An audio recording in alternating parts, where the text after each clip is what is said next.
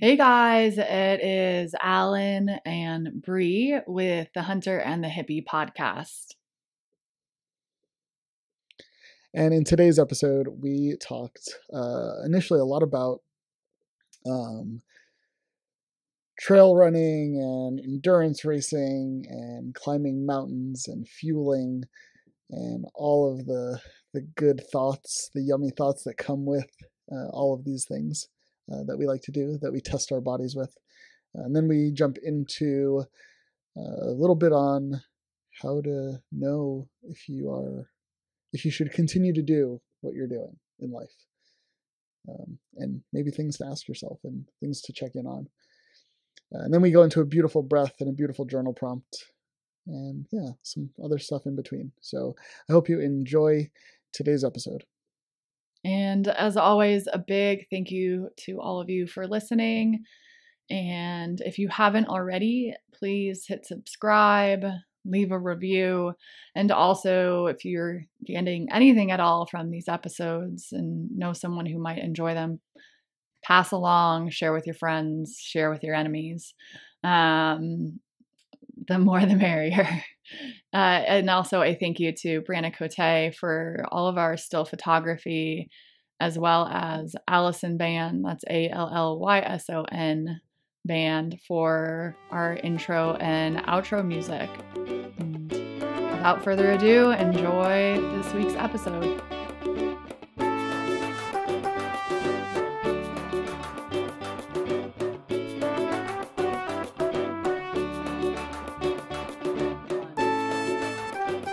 Morning, Bre. Good morning, Alan. How's it going? Oh, it's, it's hippie going. back again. Back again.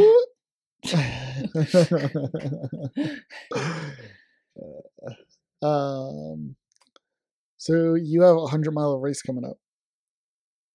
Sure. I, I just got back from Maine and I ran into Courtney Dauwalter and didn't ask her for for uh, advice for you. I'm sorry. you didn't but- ask if she wanted to pace me? No. Do you want to go pace a random stranger? yeah. Go. I, You're kind of a big deal.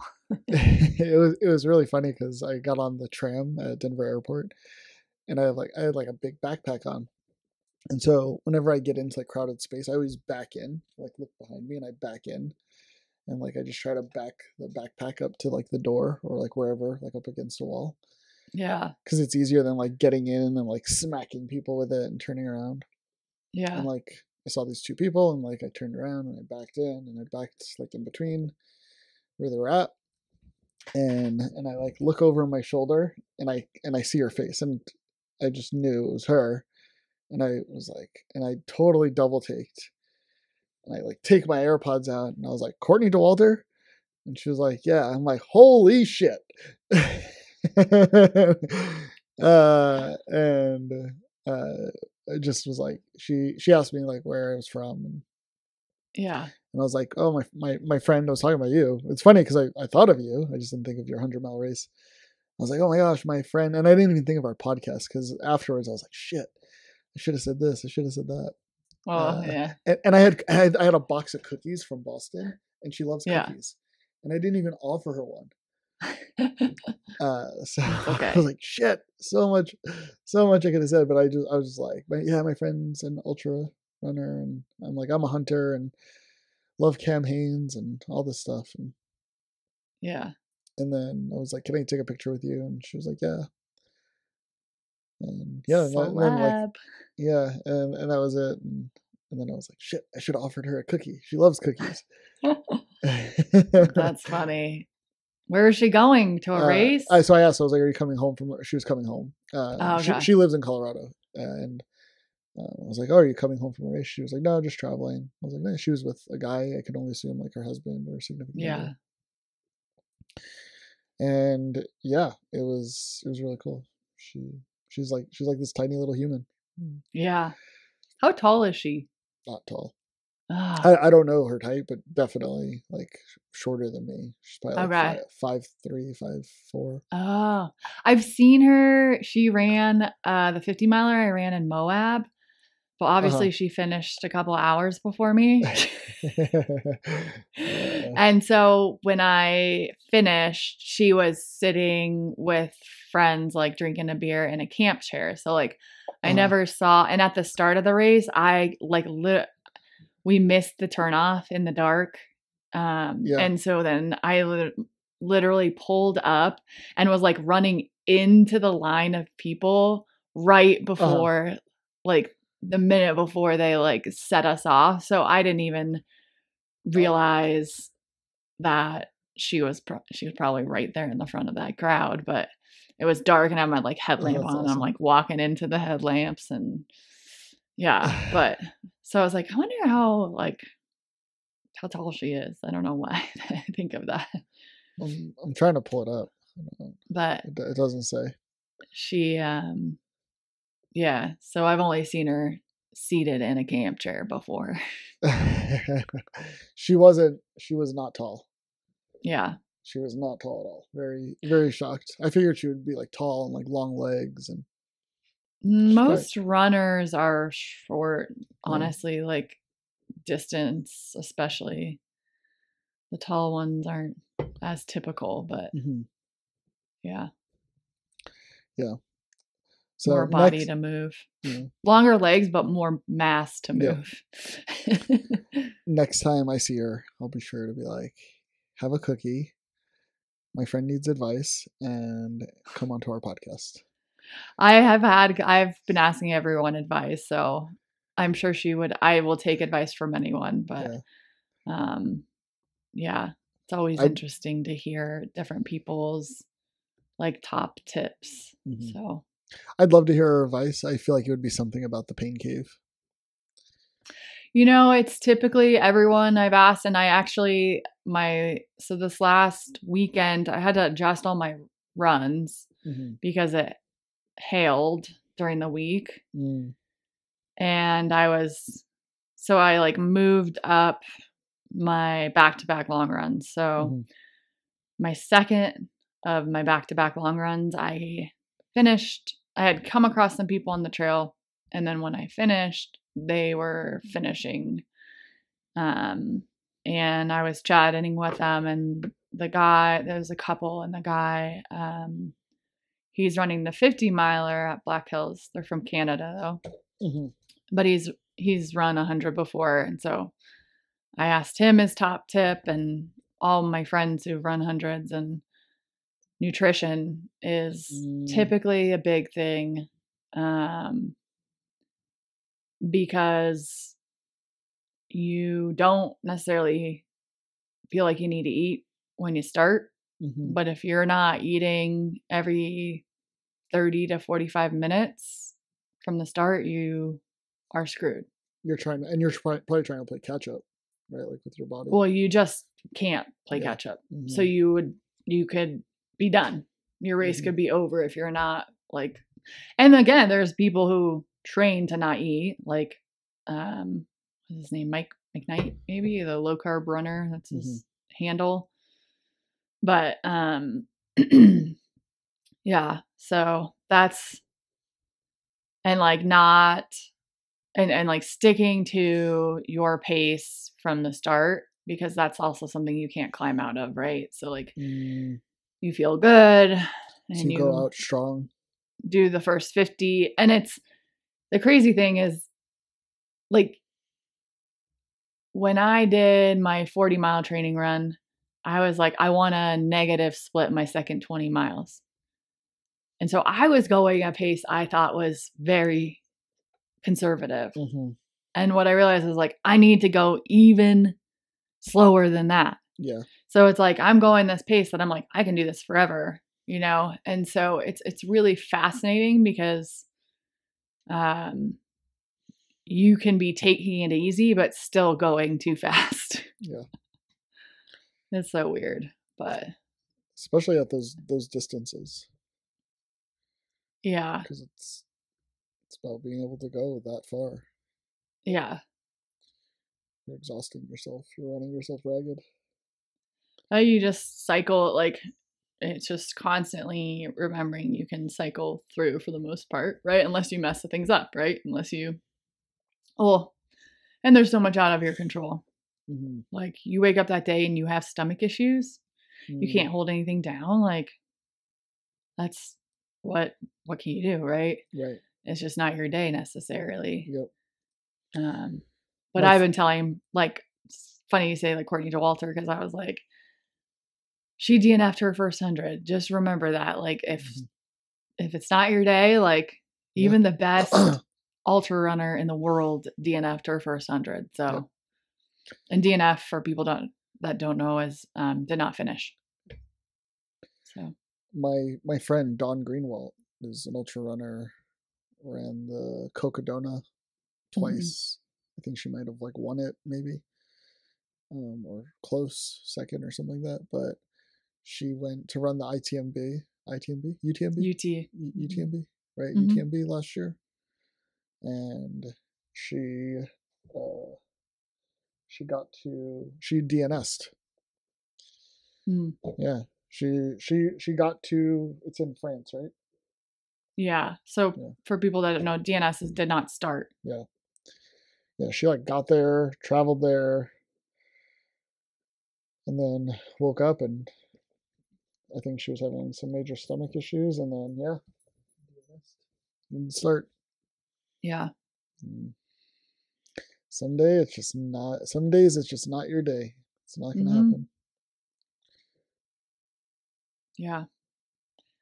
It's it's crazy to do all that training Mm. to then not even start, Mhm. you know. You have to really love what you're doing. and and you don't real so like you don't realize you know it's really easy to be like well just why didn't you start right it's it's really easy to say that without being there without being the person or why didn't you finish Well, that's And- I don't think it's easy to ask someone why they didn't finish 100 miles. I, yeah yes and no like i think yeah i mean it i think it depends but like so I'll, and i'm just going off of an example for me recently i was i i hiked or i attempted to hike pikes peak Mhm. and um, the route that we took was like a 16 mile route. This was like two weeks ago. 16 mile route, and um, we ended up being like less than two miles from the summit. Mhm. I could literally like we were on the side of the road. There were cars driving up to the summit, Mhm. and I could see them. We could see them getting there. We could see the summit, and we didn't make it. Yeah. and it was a it was a game time decision to to stop you know based on weather and and how we were both feeling Yeah, I was going to ask what was the what what factors played into that decision. fucking post holing god Yeah. i fucking hate post holing it is literally terrible so uh So post holing in snow like people so I, yeah, I forget not everyone Yeah, knows yeah, when So we sometimes we talk about these things. yeah so po- post holing is when you're in the snow and um you're you're walking and you think you have good footing you think that the snow is solid and you take a step and and you might stand there for a brief moment even like this happens like where you like take the step you're like oh yeah this is solid and you like, go to transfer into your next step and then boom you fall through and you mm-hmm. could fall through from you know like the sole of your shoe to to your hips yeah. right? Like as far as your hips right? Like Yeah. it, really depends. And when you fall through like it's everyone's like oh yeah that must be exhausting trying to get your foot out. Yes that's part of it but the fall like because you're Mm. not you, you don't know how far you're going to fall. Every step is different. You don't like you're shot like you- you're every time you're just shocked. Mm. and you just like ugh. And it's like jarring and, and it's miserable. So we made it to the devil's playground on um devil's playground or devil's campground i forget what it's called on pikes peak and and this is you're now on the road. Like there's a road that drives up to pikes peak you literally drive up to pikes peak. And so you're now on the road and you're watching cars go by you getting to the top of this. And here the two of us are with our backpacks and our hiking poles and and it was now like I don't know 10:30 in the morning. And the the sun was out, it was starting to get hot. And we get we get probably like halfway through the devil's devil's playground and uh, and it's called the devil's playground because the way the lightning dances off of the rocks during Mm. th- during thunderstorms yeah so it's not a place you want to be during a lightning storm hmm and so uh like halfway through the sun just start the sun's warming everything up and and you just start pushing through the snow and and we were post holing up to our knees hmm and it was rough. And then at one point, um, at one point, i you start hearing like marbles like rolling down a hill, hmm and that's never a good sign. That's usually a sign like you're in avalanche terrain. And and I look down and and I could see, and it's not marbles. There's no marbles on the mountain. Okay, it is. It's these like frozen little balls of snow that as you break through, they break up and they roll down essentially the top layer sheet of ice. And it sounds like marbles rolling down a hill. hmm And I like looked down and I was like, huh, that looks a lot like avalanche terrain. And I look at my buddy and, and I see him looking down. And I see him keep looking down. And I like Mhm. he was like, I don't know, 20, 30 yards in front of me.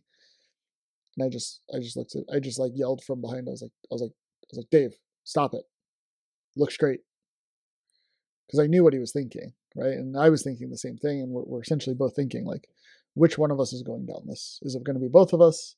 hmm You know, and it like every step you're just like every step where you break through the snow, you're like, when does the slab crack? hmm And and sadly, we didn't know we were in avalanche lane until like we're in the middle of it. yeah. And now we're just like, all right, get the fuck out. And you can't move fast because you're post holing, and so you're just like every step, and it's just exhausting.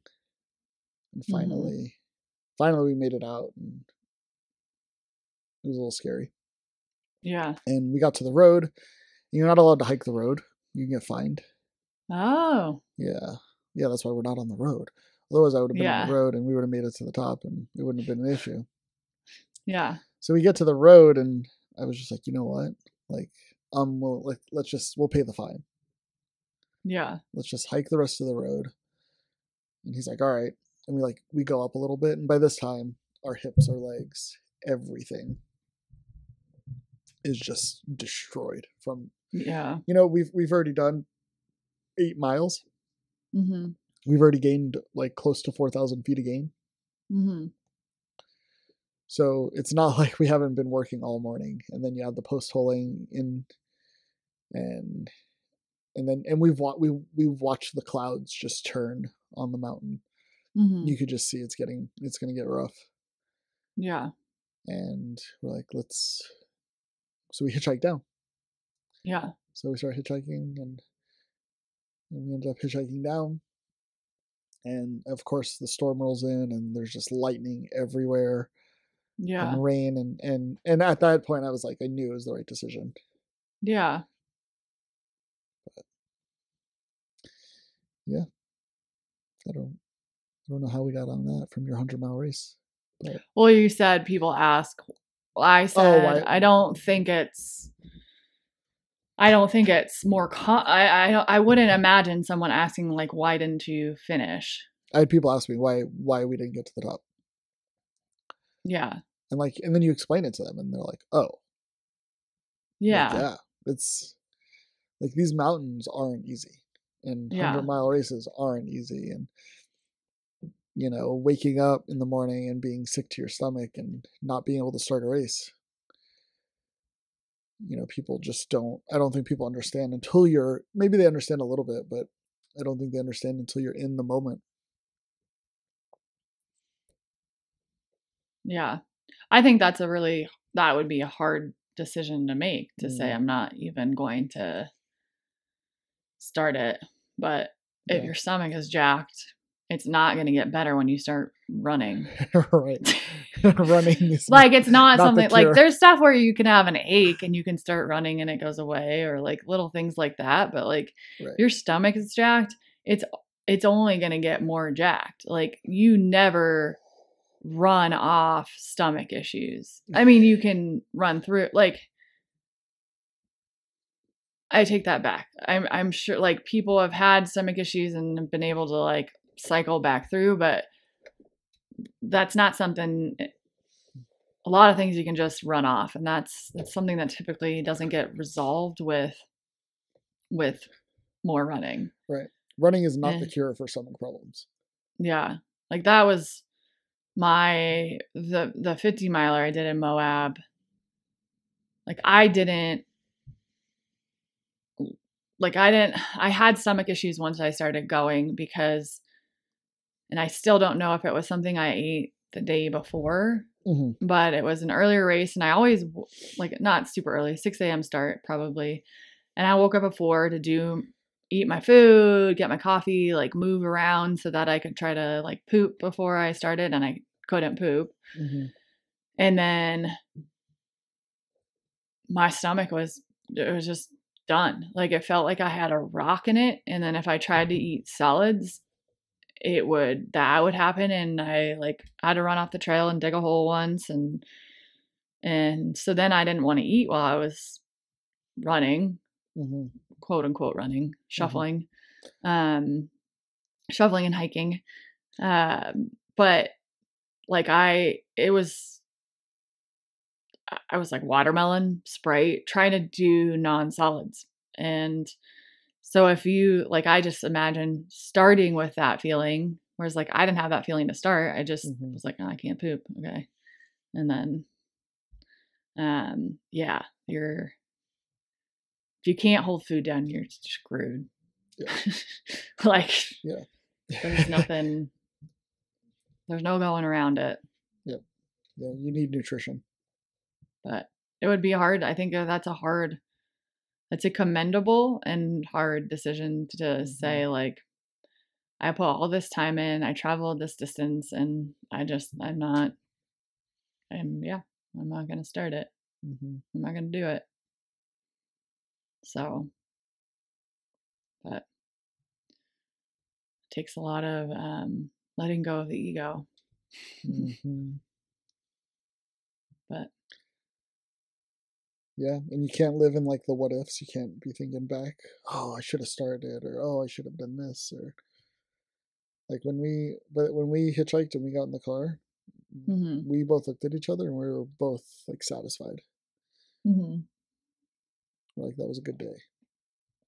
yeah, Like, happened a couple years ago. I tried to do the WURL, which is the Wasatch Ultimate Ridge Link Up in Utah, mhm, and it was just like the perfect storm in in terms of like I had just gotten a week before I came out of the Wind River. I did the Wind River High Route as a backpacking trip, not a run, which was it's a little over 100 miles, but it's all 60% of it is route finding. mm, Um, so it's not on a trail, and you're just constantly going over um, passes and high points. You're it's the high route. So, um, and it was. I mean, there'd be days where I did 10 mile. It took me a whole day to do 10 miles because of the route finding or the scrambling and um, or the snow. And then there were some days that I did 20 miles that day. You know, so um but I came out of it like pretty wiped out. The last day I was like I woke up that morning on a glacier and I was like I'm finishing today and I knew it was going to be over 20 miles. Mm, And it rained all day, thunderstormed all day. I finished and my feet had been wet and cold and they Oh, were like swollen. Um like it was Were I was like- pretty were they like wet and like tearing apart? Like that. they were like so the next day I, I got chilblains for sure and i think forever like now i i get chilblains quite a bit but like the next day my feet were like pink and like it like they looked swollen Mm, and so it wasn't like they were like cuts and things. It was Yeah. just that they were wet and then they were had been like I was post holing to my knee in Mhm. sections of it. Like so that cold and I was in runner I was in my trail runners. So I think it was the combination of being wet, being very cold, like submerged in ice for half the day, and then hiking with water and just like that pounding all day that Mhm. just jacked them up. Um, but a few days after that, I went and paced my friend at Leadville. So then I Mm, went down to Leadville. I ran 26 miles with her. And then a few days after that, the plan was to do the WURL, the Wasatch Ultimate Ridge Link Up. And my friend had just come off of a 100 mile backpacking trip.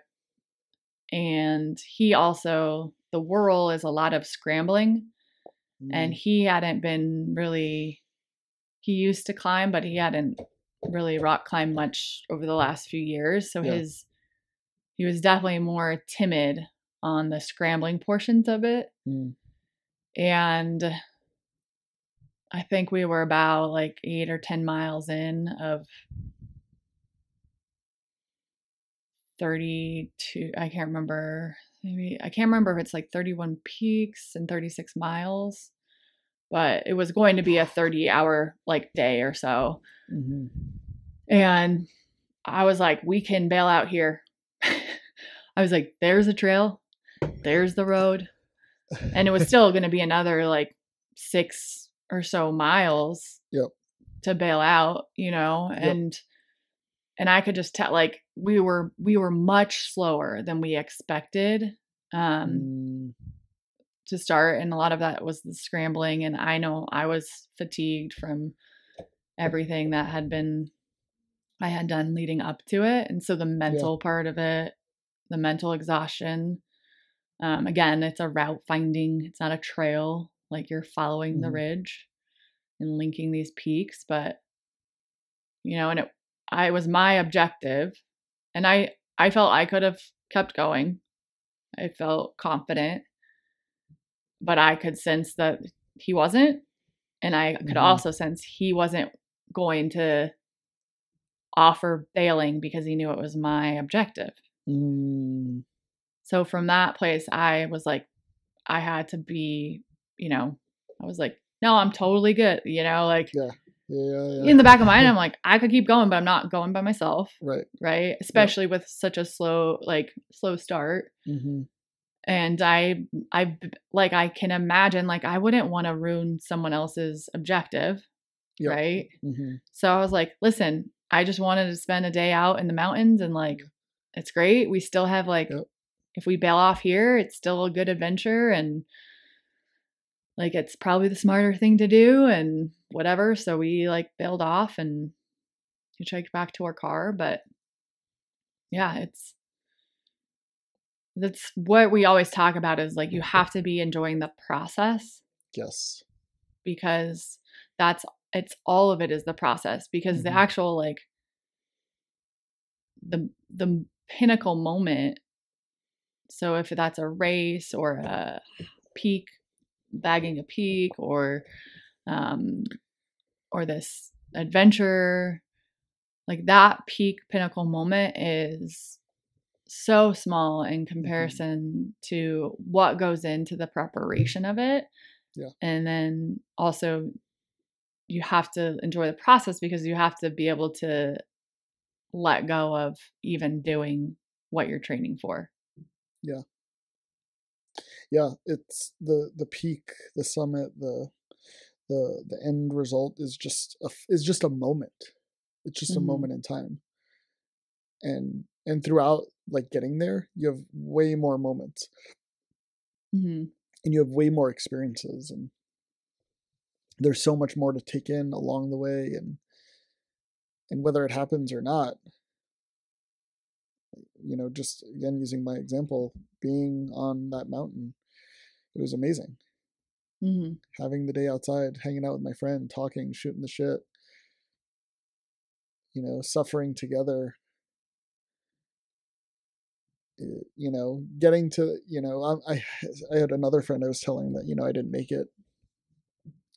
And he's like, oh, that sucks. Well, I'm like, oh, like it's just I'm not doing this to get all the peaks.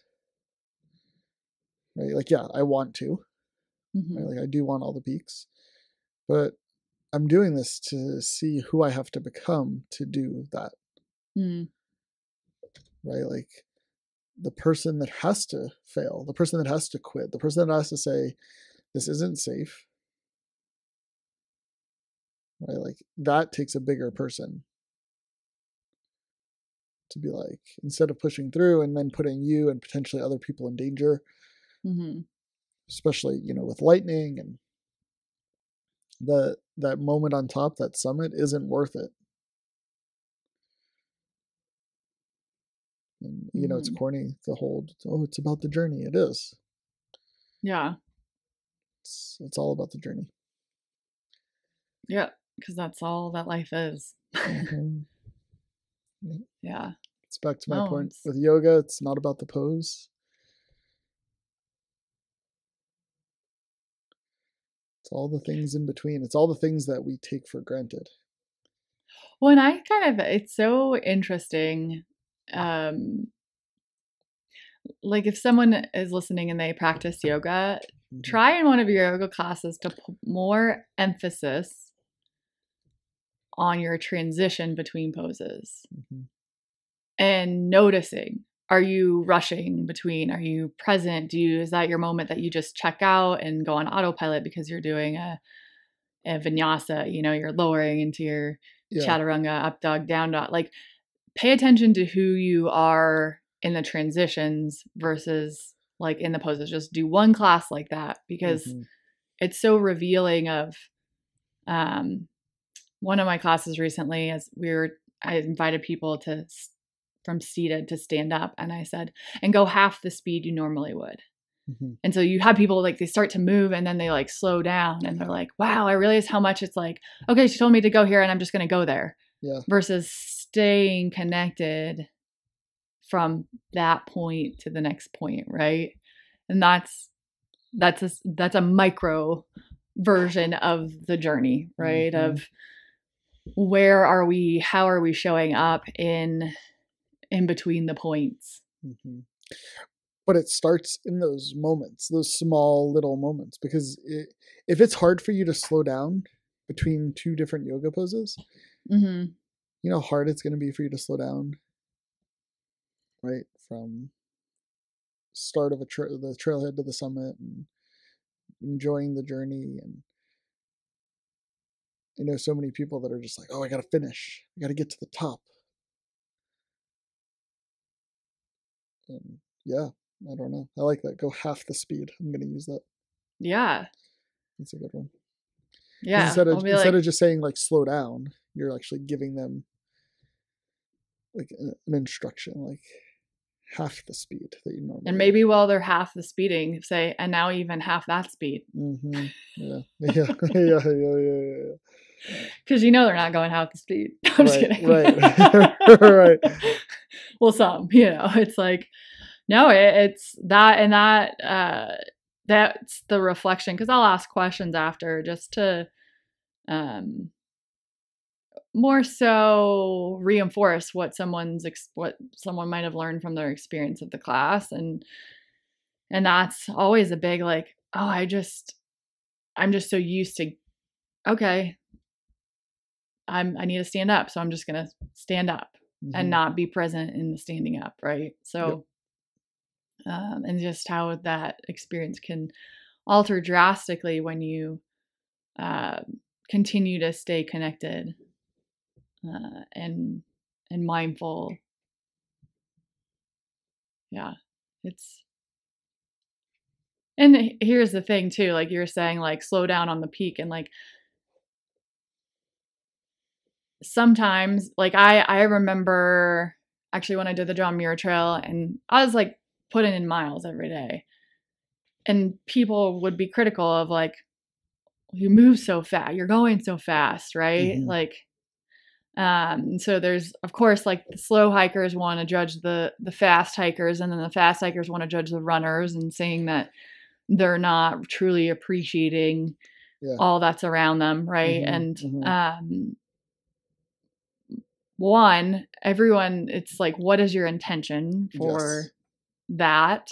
But also, like, I used to kind of joke and say, well, when I'm running this, I actually get to see more country hmm in that same amount of time, you know? Yeah. Um, so it's, it's, and it's not even about speed, right? At, the end of the day, it's not about, it's the slowing down. When I guess when I'm saying slowing down, sometimes you have to slow your speed to slow your like to to be connected but the slowing down isn't necessarily even your speed going up to Pikes Peak it's how present and how connected to the experience and where is your mind so like Yep. slowing down isn't is is while you're hiking you're not thinking okay how much okay three more miles okay so that's gonna be like this many hours or whatever it might be and and sure you can do those calculations but if you're so focused on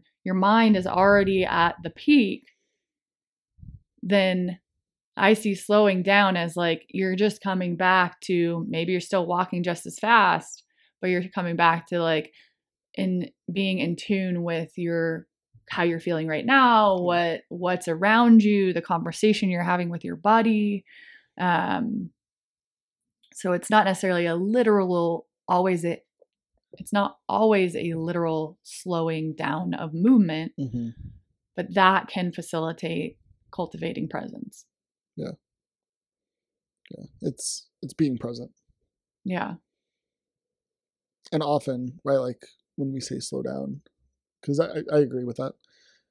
And when i say slow down it's a it's it's a quit thinking so far ahead. Mm right? Like that's really what it is. Hmm like slow down. Embrace Yeah. this moment. Right? Yeah. maybe you're you're speeding up and like oh my legs feel great and i can run faster and and i'm feeling good and and but it's that moment right? When you're in that moment that's what's great. Hmm right? It's it's not about i gotta get to this pose i gotta get to this summit i gotta get to this mile. I might be thinking that. I'm i'm not gonna lie. uh, i there are when i i gotta get to this aid Yeah. station. Yeah right? But what Yeah. is it that you need at that aid station like yeah. you know and that you don't have currently? Hmm right? Like that's food? yeah right? Water? yeah. Like are you out? Are you like just looking are you looking to like like sit and, and get your feet up? You know you know what what is it? And then seeing like tap back into all right yeah i'm hungry. So what does that mean? Mm-hmm.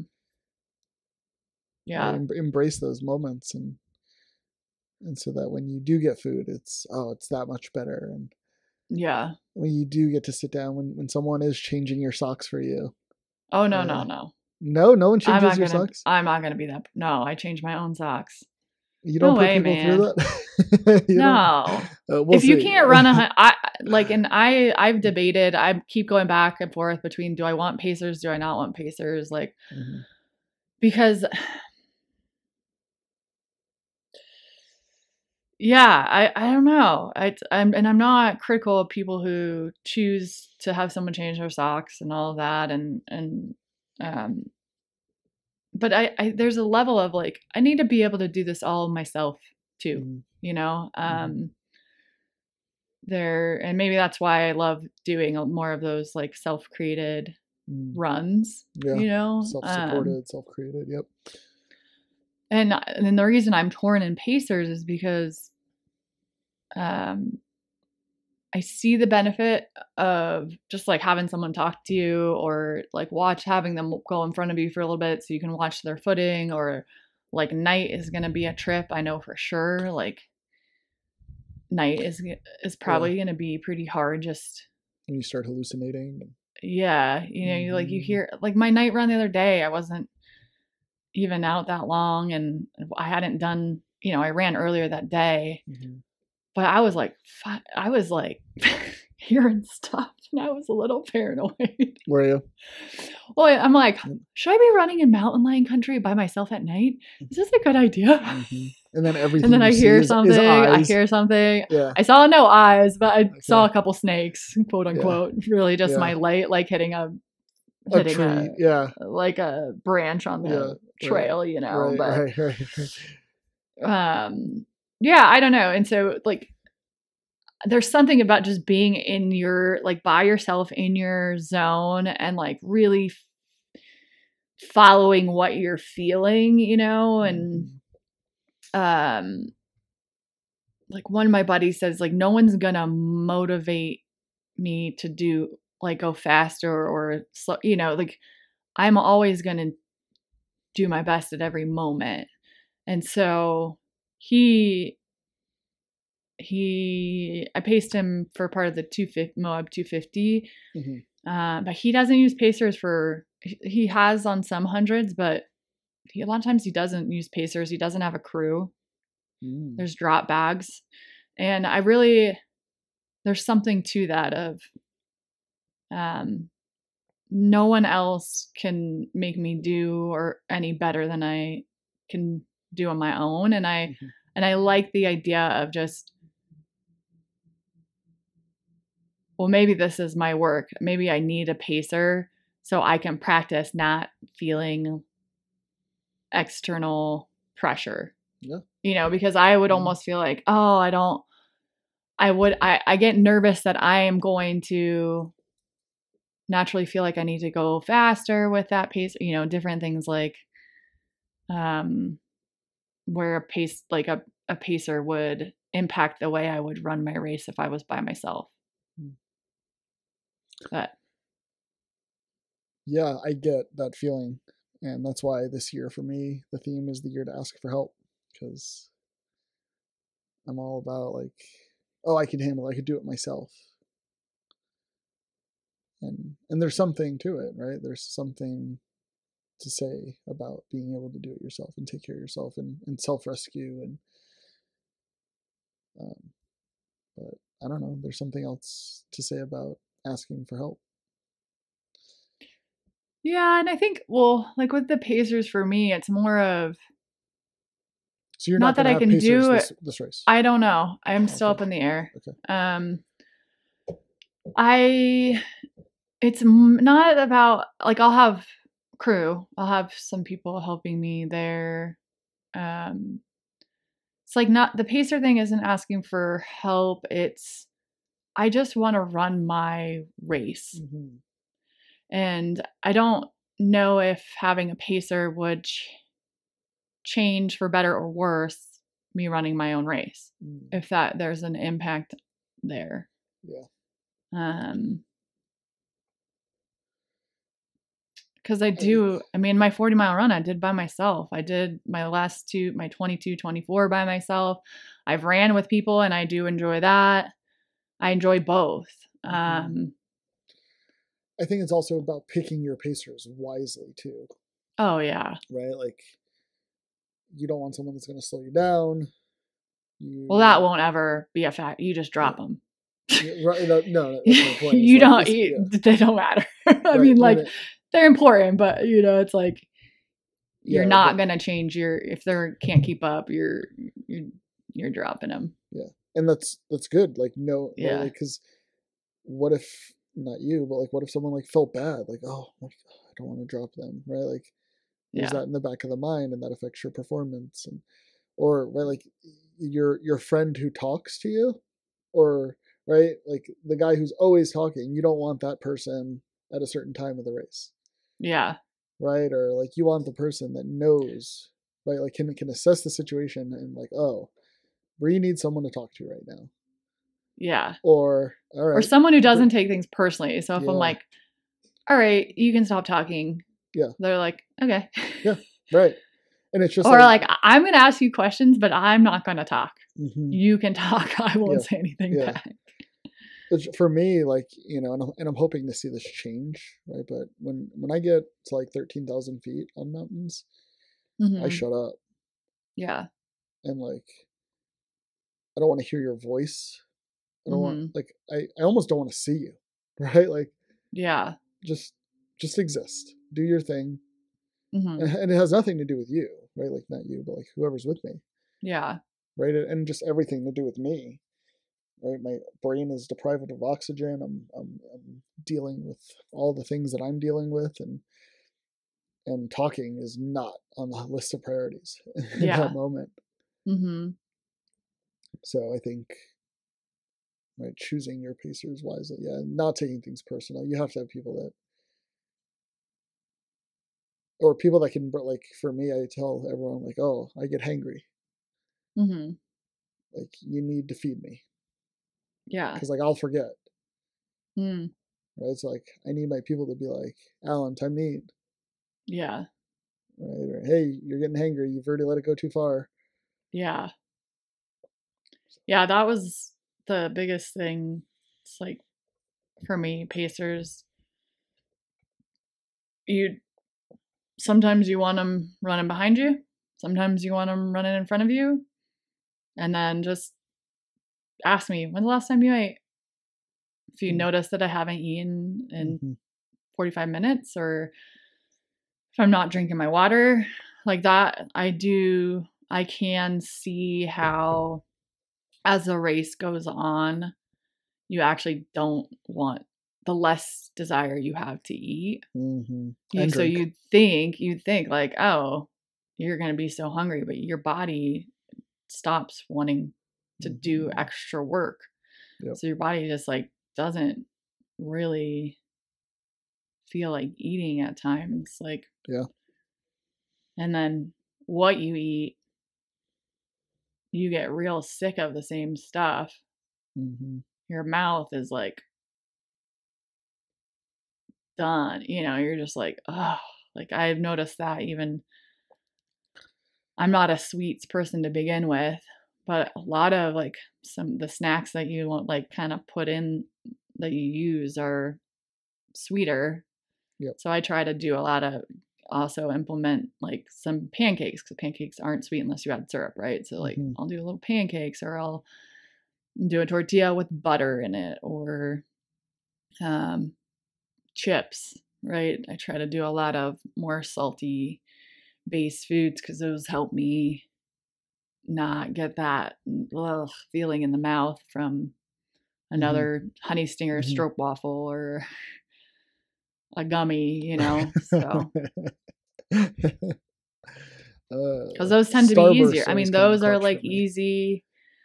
Yeah, Yeah. but think about if you had Starbucks Starburst every 30 minutes for eight hours. Yeah, no, By not hour eight, thing. you're like, Not I don't want that anymore. Yeah. But- Try and wrap in one of those things in a race. oh, while you're mile forty. I remember once I tried to get Starburst and I was like, one of the, and I just like stuck it in my running pack. I was like, I don't want to unwrap this thing. Like, You gotta unwrap them wax, like, you know. before. You gotta unwrap them before. Yeah. Unwrap them No. before. Throw them in. Throw 'em in. See, for me, like, I, like I don't want like a pack of Starburst. Yeah. I just want like two. Yeah. Just like just like a quick hit of like sugar and flavor and like make the, Yeah. make like the mouth salivate and, and then like some Yeah. water and yeah. But I yeah, food is food's tough. I'm still trying to figure it out. On on Pikes Peak, I brought like steak. Yeah.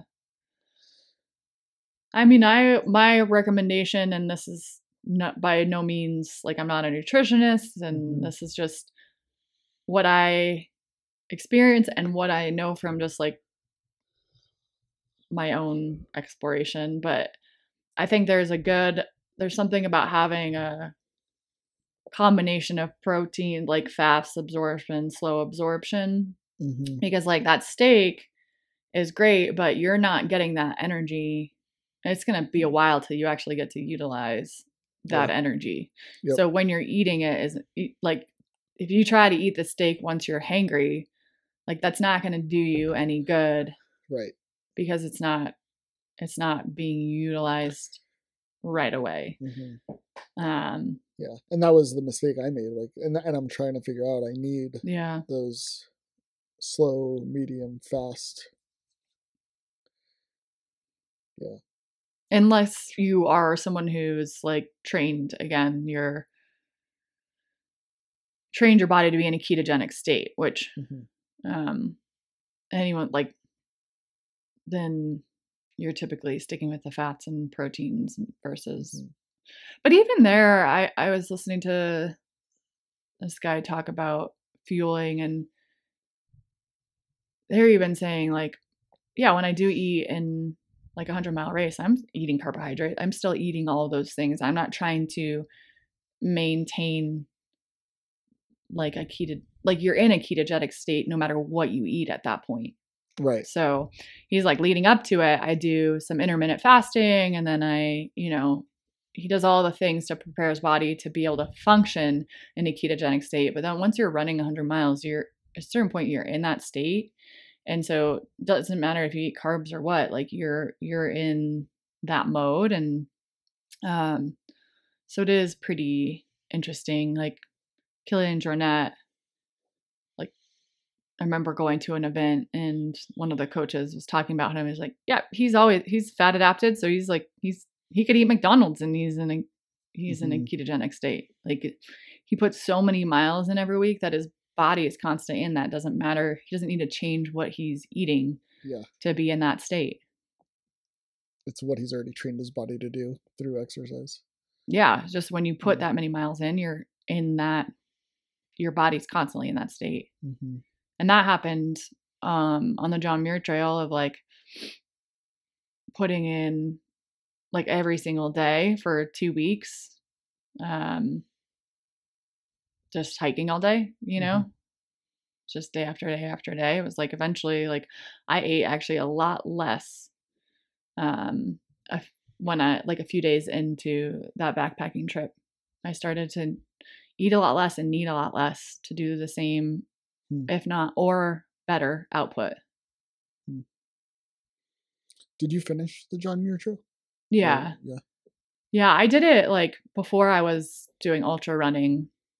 Um and so interestingly enough, like in hindsight, I was like, I could do it done it in less days. Mm-hmm. Um, you know, but the last couple days I was really like stretching out the the hikes. Like Mm-hmm.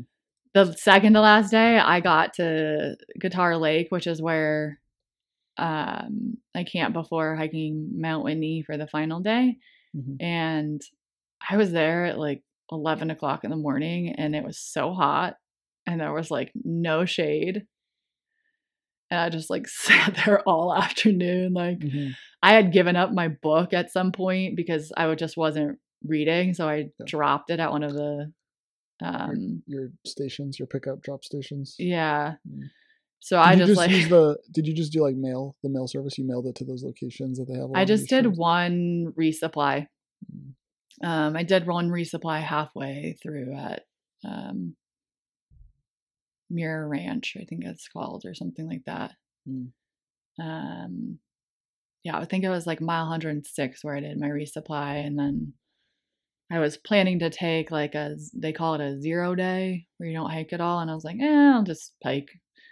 And so then I really towards the end was like eight mile yeah like the second to last day i had eight miles to hike and i like i said i got to guitar lake and i'm like okay just We're just I'll staying hang out here underneath my sleeping pad because that's the only shade i have Mhm. but yeah it's crazy i mean it's just your body adapts and um and that's the thing with fueling for you like what does your body need now is that going to change the more that you're Mhm. doing these peaks, the more that you're doing a cardio based activity. Mhm. So it'll be interesting to see your own evolution with fueling. Um, Yep. Yeah, and strength training because I'm trying to. I'm not trying to lose any of my strength training basis. mhm. So it's going to be interesting. Yeah. And that's the thing is I want to see what it takes. What does it take? The body's resilient. We are mhm. resilient. Our bodies will adapt to the stressors we put it under. Mhm. So long as you give it, I mean, come back to our recovery a- episode, Recovery, you give it Right. the ability to bounce back, right? To build off of what you the stress, the you Mhm. stress. Yeah. Yeah. Yeah, we don't know what we're capable of until we try. and even then like you can the finish line is here right now but tomorrow it can be here and then the next and like you you have the ability to grow. Hmm right and what today looks like but you also have the ability to like right like to to, to come backwards too and that's okay as well. If you realize something isn't for you or it's funny i gave a i gave a workshop on like goal setting in maine this last week. Hmm and i got asked that question They're like how do you know when when something isn't is no longer for you? And i was like i ask myself if i'm having fun. Mm. And if the answer is no i'm done with it. Hmm right? And but you have to be like real because like it, in in in a particular moment you might not be having fun. And that's not the time to quit. Hmm right? It's are you having fun doing this thing constantly. Hmm is it enjoyable? Do you love it? And then then i actually brought up something that, that you've talked about in the past is if you could never do this thing again would you be happy? Right? because this thing can be taken from us. Hmm and yeah. I think that you can give it all you got and you have to be in that moment and have fun and enjoy it and know that it can be taken away at any moment hmm you also have to enjoy the things that you're doing and Yeah. And you are the only one who has that answer. that's it no one can but I was, it, it was, I was actually talking to someone this weekend about um, just somehow that my run came up. Um, and, you know, I shared with, and I've shared this on here, like, I'm now I'm in a good place where I know I'm doing things for the joy of doing it. But for a long Mhm. time, even with my like athletic hobbies, whether it be climbing or again running or planning a backpacking trip, like I made sure every so often to check in with myself and be like, and ask Mm. myself, am I doing this because I'm trying to prove something to myself or others? Am I doing it from a place of lack, of like needing a validation? Or am I doing this because of the because I enjoy running or enjoy climbing. And that can mean I enjoy pushing my boundaries and myself. So it's, Right. they're not mutually like e- exclusive. Like there can be a joy of just it doesn't necessarily have to be, oh, I love being outside. Like that Mhm. is a factor. I love being on like personally I love being on the trails. I hate running on roads. Mhm. um so that plays a factor, but there's also times where I find joy in in pushing myself in the struggle and and and moving through that and and seeing how I move through it. Um like recently actually I I've been using mantra a lot while I run what? or mantra. So Oh, I'll okay, yeah. like I've been doing pranams, which is like a when like a guru comes in, you like offer pranams. And so Mhm. while I'm running, I'm like, Bolo Shri Sadguru. like I'm doing that in my head. Uh, Or I'll like a lot of times I'll use like Om Namo Bhagavate Vasudevaya, and it's like a way that I just like bring myself back here. Like I Mhm. just like Yeah. repeat that, repeat that, repeat that. Mhm. Um, I had a lightning storm I was running in recently, and I was like, I am a violet flame. No energy can penetrate me. I am a violet flame. Oh, that's great. but it's like I have like the joy of like, okay, I'm feeling challenged here. I'm in this place. Yeah, Like, yeah. so yes, a lot of it is like I like love what I get to see, but I also run a lot of trails like over and over Right. again. And sometimes I see something I haven't seen before, but I, the joy is also of like how I experience like different moments of like Mhm, being with myself. mhm. That's awesome.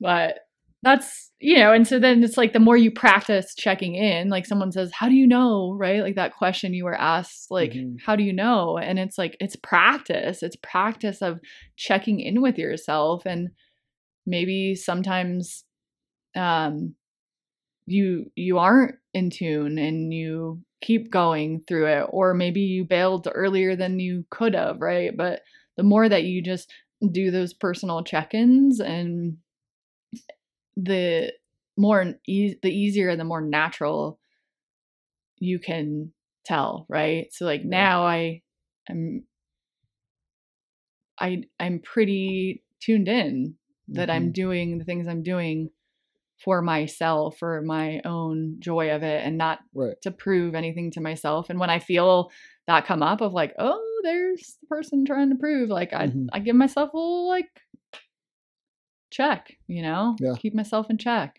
mm-hmm. But- Yeah. Love that. i mean we've we've been trained for so long to tune that out so i want to share that like it is practice to to tune back in with yourself Mhm. versus overriding or tuning out um, Yeah. and following the external, right? Hundred percent. We really have been. hmm Um, yeah, we, we've we've been. We dismiss ourselves. We dismiss the way that we feel about things, and, and this is in in life in general. It has nothing to do with just pushing hard and hmm these type of scenarios that we're talking about. Yeah. Right. We we, we push through. We we stay in relationships that maybe we shouldn't be in. hmm We stay in jobs that maybe we shouldn't be in. hmm And it's and it's not checking in with yourself. Not having the the courage to hear what what you have to say. I feel that. mm-hmm. And it's like we check in. We think. I, I, I I guess the other part too is like. It's a lot easier to say, right? Hindsight is twenty twenty. Um, and ultimately, we were meant to stay in that job or that relationship Mhm. or um, whatever situation it is for that that's what, what we were meant to to to do is to be in it for however Mhm. long it it was Yeah. um and by staying connected like again by tuning in and sometimes we think we're tuned in and we are hmm but we then don't act accordingly right Right. and um and that's totally okay mm-hmm. there's nothing wrong with that um, all of it is practice Yeah. not just tuning in but then trusting and having the courage to follow the intuitive information you've received from tuning in Yeah. or sorting through right like hmm oh, is this, we talked about this in our powering through episode. Is this me just being resistant? Or is this actual resistance I should listen to? Yeah. And there's no right or wrong answer. It's just practice moving through it, practice not, then feeling afterwards like, oh gosh, yeah, that was something I shouldn't have powered through. And um, not allowing that to then taint you or again feed the animal of being wrong or whatever it might be, but simply just to acknowledge it. Yeah, for real.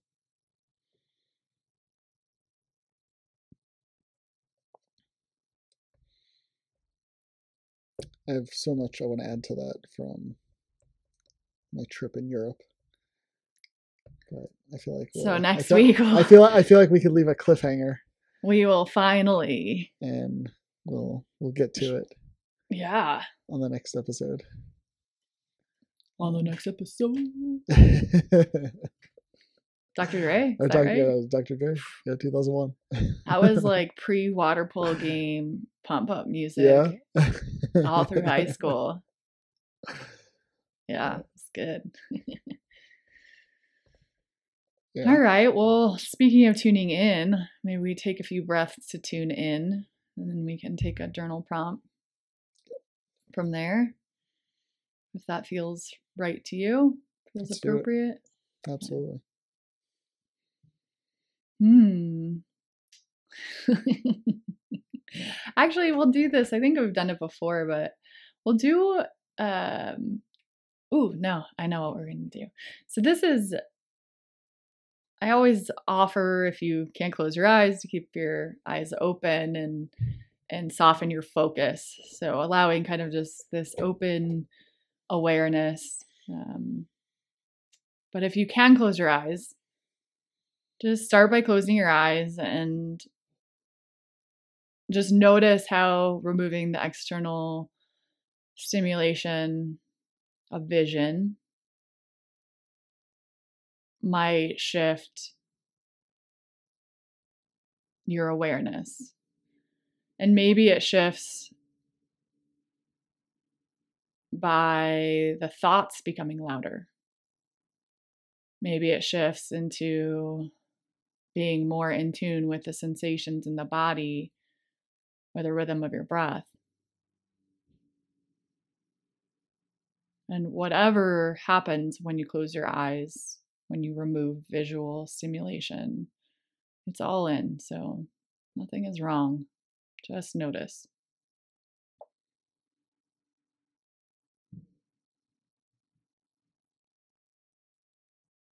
Whether your eyes are closed or if they're open with a soft gaze, see if you can just open your eyelids halfway. So if your eyes are closed, just open halfway. So the bottom has the light coming in, the images, and the top is still dark. And now, with the eyes half open, shift your attention to where there's the darkness. So, the back of the eyelids, the upper part of your field of awareness.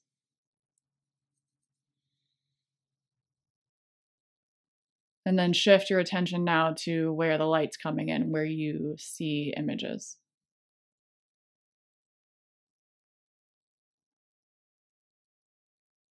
And then shift to that line right where you can kind of see half dark and half light.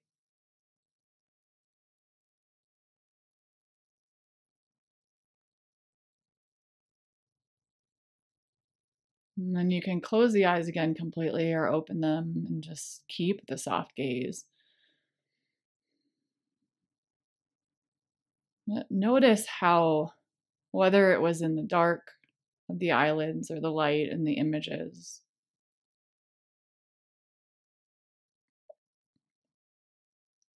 that where your attention lies in that field of awareness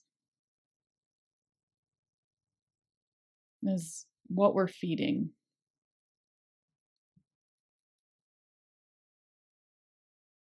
So if your attention can lie by tuning in, right, inward, by becoming aware of sensations or thoughts or whatever's arising,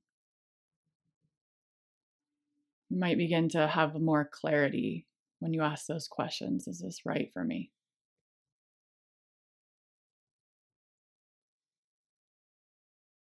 And If your eyes are closed, you can slowly open them.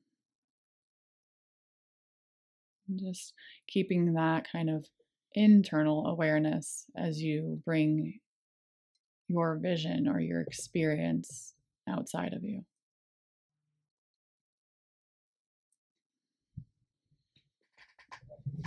Thanks for that, Bre. You needed that. Write about in your journal, pull out your journal, your diary, whatever, all the magic, and write about um, maybe something you heard in the episode as as usual, um, but specifically things that you can breathe about. Right, Bre walked us through a beautiful breath, and right, if you if you pray, right, maybe you pray. If you um, meditate or you breathe, uh, whatever it is, right, maybe you're you're struggling with something in life, a decision, and and you're not looking for the answer, right, but you're just breathing about that thing, or you're praying about that thing, or and just see what happens and and write about it and, and write about it and do this consistently. And I do this for like a week. This is my weekly task for my newsletter. If you want on my newsletter, send me your email address. I'll add you to my not a newsletter.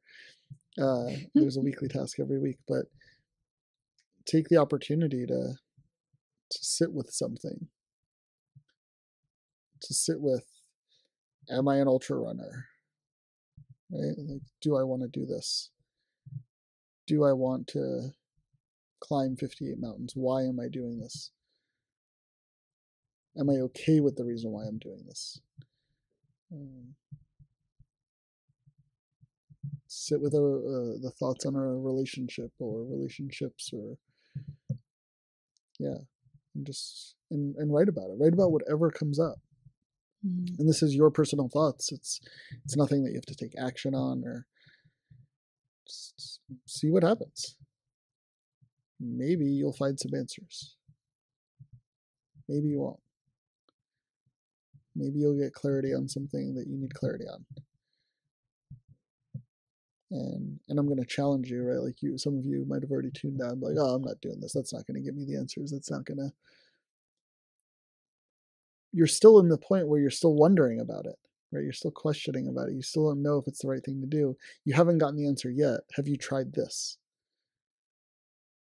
Right? And if the answer is no then try this. What does it hurt to try something? Maybe this is your new tool and it'll help you in life and in your journey. And this is why we have you breathe, and this is why we have you journal because it's not one thing. It's having access to multiple tools, and uh, yeah, so enjoy the process. See how I circled that back. Well, it's funny you said you, and now I can't think exactly what you said, but something about like, oh no, that's not the answer um or you don't have the answer yet but i also think about is it because it's the answer you don't want? Mm, and maybe you you're fighting it. journal about that or the answers you've received. Hmm are you willing to believe that that is the answer? Because i think Yeah. we that comes back to that overriding Yeah. because it's not what we had hoped for what we expected or how we wanted to look or it's not the what um we're comfortable with or whatever whatever any variation of that so if you've received answers and they're not the right ones can you answer the question of why That's great. All right, tune in next time for uh, s- some stories about Europe, my Europe trip. I've I've one in mind that might take a little while to tell. So, all right uh, and I have a feeling it's going to generate a lot of questions after it comes out. So we'll see. Ooh. But leaving you hanging here. Yeah.